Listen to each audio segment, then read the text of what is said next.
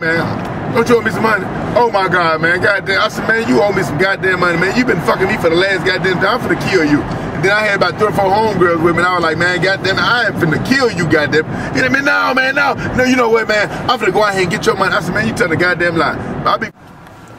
You said this already. Man, I didn't tell you that, man. You said you gonna have my money, man. Okay, I have. Man, you been fucking me for the last two or three days. Man, God don't like that shit, man. Okay, I have man, if you, man, when I, when I come and catch your goddamn ass, man.